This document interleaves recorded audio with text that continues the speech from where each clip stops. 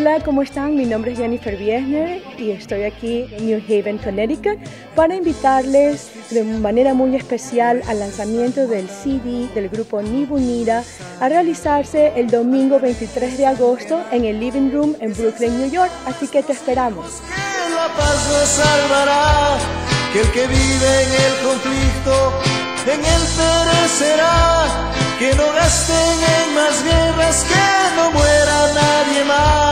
que vivimos.